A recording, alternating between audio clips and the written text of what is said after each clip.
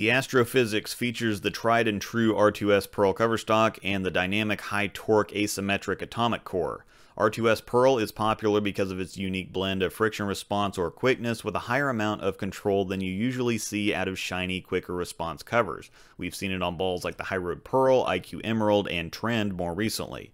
The atomic core comes in at a 248 RG, 053 differential, and an 017 split or intermediate differential in 15 pounds with most of the other ASIMs in both catalogs coming in at 250 to 252 on the RG, the Atomic Core surprises with the amount of shape it's able to help generate with such a low RG. Usually the lower the RG, the heavier the ball wants to roll and the earlier it wants to start up.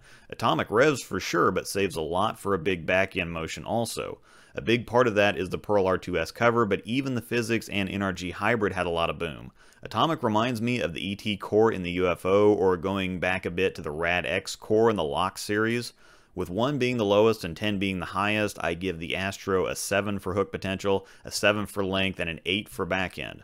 It's closest to the Phaze 3 in hook potential, the Trend in length, and the Hyroad Pearl in back end strength. Select the next comparison you'd like to see from the links on the screen or scroll down to the description to find links to other choices. Thanks for watching and may the strikes be with you.